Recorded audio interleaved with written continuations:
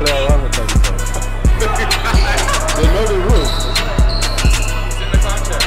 Yeah. So these gotta they need to give it back to the, the big guys.